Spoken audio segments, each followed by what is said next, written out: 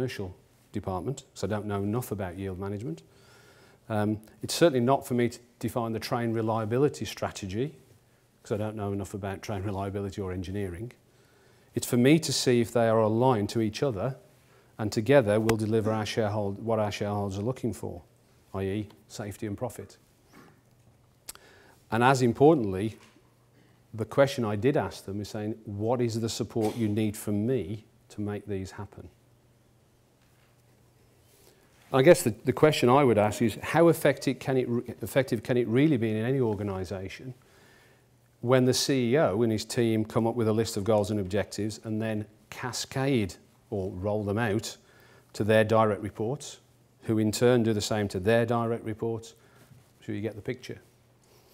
Imagine how powerful and empowering it is for everyone in the company to have developed and created their own vision for the company and then be given the freedom to deliver it. In fact, I guess what I'm arguing is to reverse the traditional process in a business. Have the frontline teams develop their goals and objectives first, based on their vision, then it becomes our job to make sure they're aligned across the business. And that's exactly what Sir Richard did with me. He gave me the goals and objectives. He said, make money. And that was it. But understanding the business, clearly the non-negotiable in that is you have to be safe. So it was simple. Mine was to be safe and make money. So the, what we did with the business over a period of time is we built the goals and objectives up from the bottom, if you like, oh, from the front line. And then our job as executives and leaders was to align those goals and objectives across the business to deliver the ultimate, which is make money. So, we have leaders who listen, and we have leaders who have a shared vision. But here's tip three. If you haven't got the passion, by the way, it's not me at the bottom putting the lippy on, just a nice to add. Um, if you haven't got people in the organisation with, with, who haven't got the passion, who have, haven't got the passion for what you're trying to do, um, it's going to be a problem. So whatever your position in the organisation, tip three is always assemble a great team that have that passion. And as Richard has been said, said um, the best CEOs are not concerned with the size of their office or thickness of the carpet, but instead they have a passion for unearthing what their employees are thinking and feeling. Another saying which I often use is a good leader locks their ego away in the desk drawer. Egos, in my experience, can be hugely damaging and dangerous. I have in my very small office in Birmingham an old British Rail policy on office carpet. Your management grade determined how close your carpet could be to the skirting boards. You were somebody very, very special if you had a fitted carpet. So we look for people who love the product we're trying to deliver, people who have a passion for providing fantastic customer service. Our recruitment team have completely reshaped our recruitment policy over the, over the years and have a very simple approach. We recruit for attitude first and experience second. You can train people, you can give people experience. It's bloody difficult to give them the right attitude. So we approach our recruitment to, to recruit for the attitude first, and then we'll work with them to develop the experience. As I say, you can design the very best processes, the very best business plans, and have the very best equipment. But this will all come to nothing if you do not have enthusiastic and passionate staff.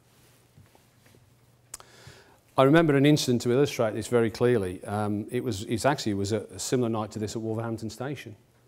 Um, very wet, windy. There was an old elderly lady was trying to alight from our train, and a passenger knocked her onto the platform. She fell onto the platform. Fortunately, she wasn't that badly hurt, but understandably, she was very shaken up. One of our platform team, who had just finished a 10-hour shift for the day, stepped in he stayed with the lady and waited for the paramedics to arrive. He then followed the ambulance to the hospital, stayed with the lady until her husband had arrived, and then he organised a taxi to get them home. He then checked that she, she was okay a few days later. He didn't have to do this.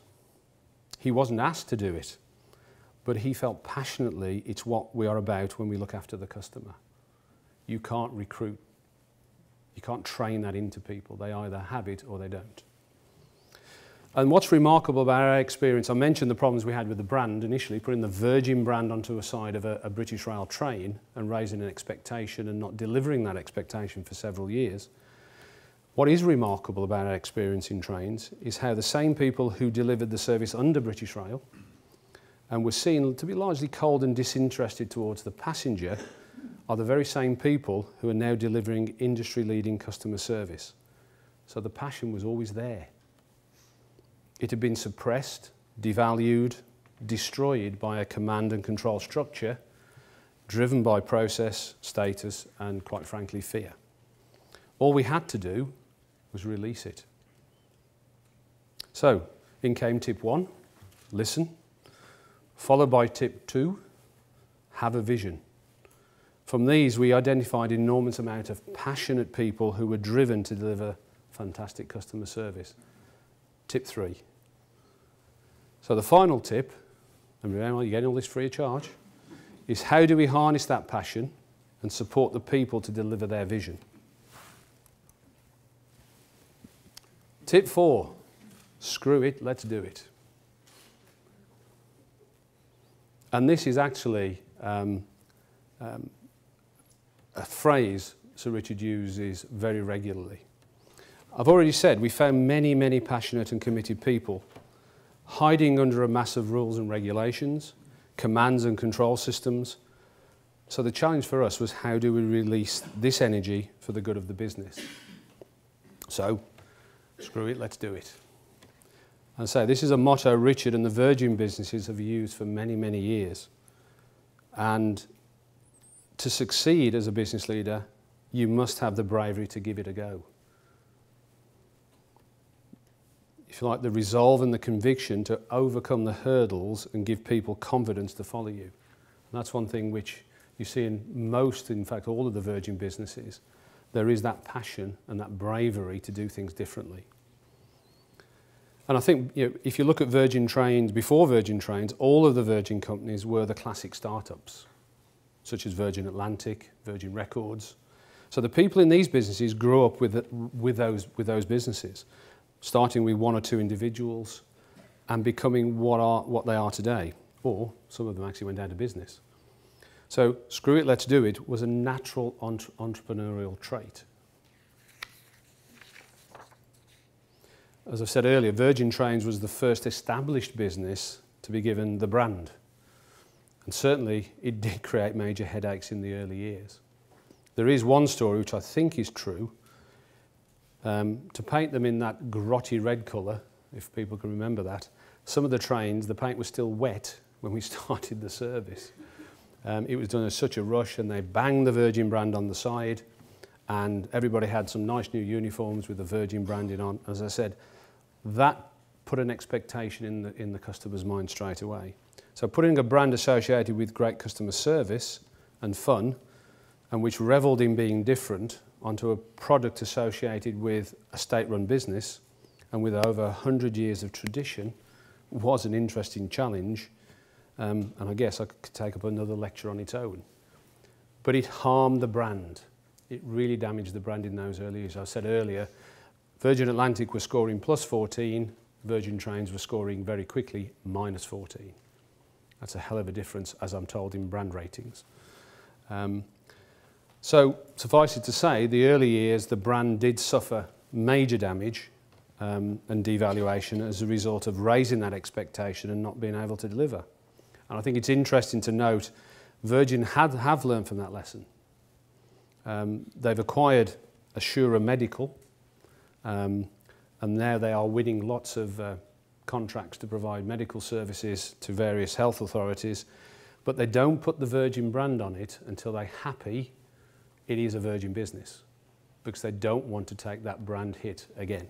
So they have learned from, um, from the experience.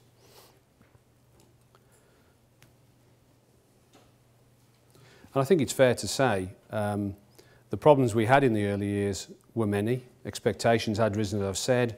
We could not deliver